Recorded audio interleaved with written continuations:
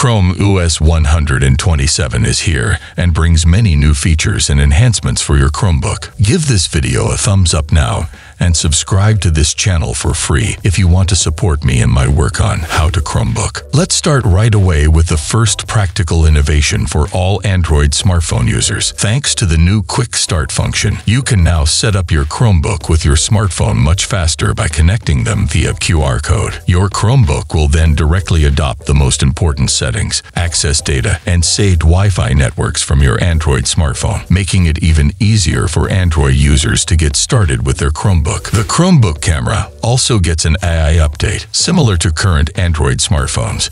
You now have an improved digital zoom, which allows you to adjust the camera section much more flexibly and with better image quality thanks to the AI-based super resolution. If you use the magnifying glass as an operating aid for your Chromebook and have ChromeVox read out texts from websites, the magnifying glass now also follows the spoken word, making it easier for you to follow the text being read out using the magnifying glass. You can now also adjust the blinking speed of your cursor in Chrome OS by going to the settings, clicking on accessibility, and increasing the blinking speed of the text cursor or turning it off completely in the keyboard and text input section. Swiping back and forth on websites in the browser is actually a very practical feature.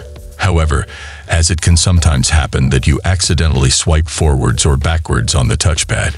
You can now also deactivate the switch between pages with swipe gesture function in the accessibility features under cursor and touchpad. If you use Family Link, you can now also restrict or manage the use of browser extensions on your children's accounts. In my opinion, this is a long overdue feature that is now finally available. If you use multiple calendars in Chrome OS, you now also have the option to keep an eye on on them in the quick calendar overview in Chrome OS. Activate the flag, hashtag multi-calendar in quick settings, flag, and then restart your Chromebook. The events from all your Google calendars will be displayed in your Chrome OS calendar. If you want to know how to play Fortnite on any Chromebook, click on the video on the left now. If you want to know 5 reasons why you should buy a Chromebook, click on the right video now and I say thank you for watching and see you in the next video.